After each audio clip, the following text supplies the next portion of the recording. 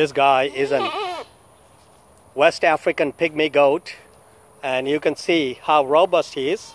Look at his horn formation. Wow. And his eyes are blue as you can see. And look at his horns. They are so long and he uses them pretty generously to defend himself. And here are some Chittagong cows. And there is his harem, big harem. And there is our new Kangal dog. His name is Pasha. He's getting trained to take care of these animals here. These are mostly West African pygmy goats. And the black and white one is a Spanish goat.